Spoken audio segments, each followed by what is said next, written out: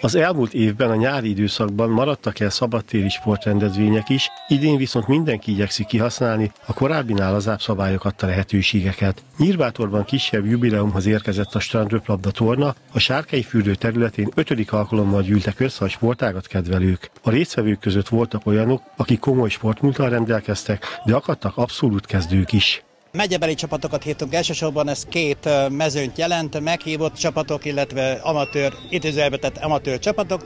A meghívottak azért meghívottak, mert ők már valamilyen szintű bajnokságban játszottak, vagy jelen pillanatban is játszanak, és a, az, az amatőröket, amatőröknek pedig szerettünk volna egy lehetőséget biztosítani, egy, egy kellemes környezetben, egy jó napot eljátszva tudjanak körünkben eltölteni. Nagyon elégedettek vagyunk a létszámmal, 20 csapat érkezett, 10 10-10 részvevő van a két mezőnyt illetően.